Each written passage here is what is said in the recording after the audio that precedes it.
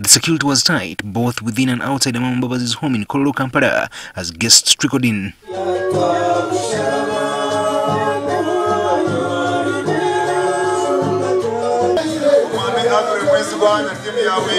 The speakers boomed loud with traditional music and traditional dancers provided entertainment.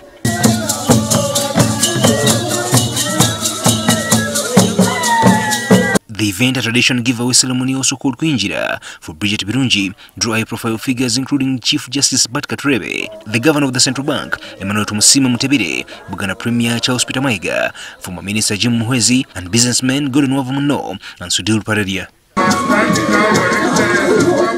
President Museveni was also invited and was welcomed by hosts Amama Mbabazi and his wife Jacqueline. The Ramaphosa family led by the president, who is also the father of the groom to be Andile, were ushered in.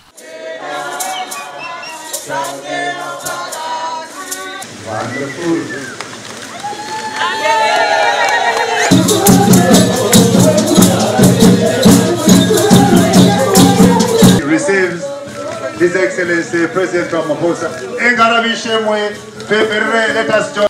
The Ramaphosas were taken through another tradition process, a sign that they had been accepted into the home. Later, the bride Birungi Bridget emerged from the house to greet the guests.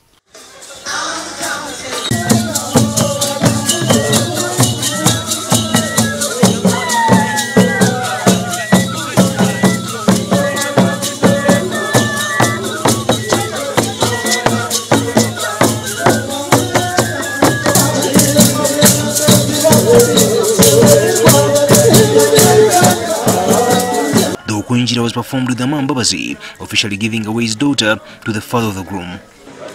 and ask for the hand of our daughter, Bridget Birungi. As the caterer said, you have fulfilled all the conditions. I can assure you that the two of them are so deeply in love